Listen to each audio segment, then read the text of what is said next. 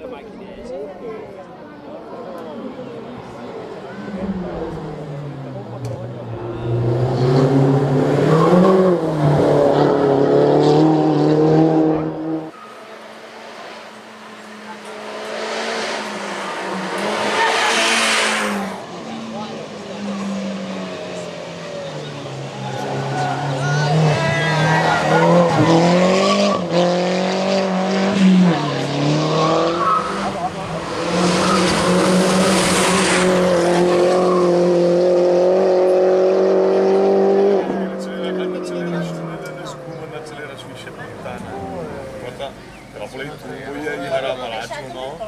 Eu posso não tocar ali no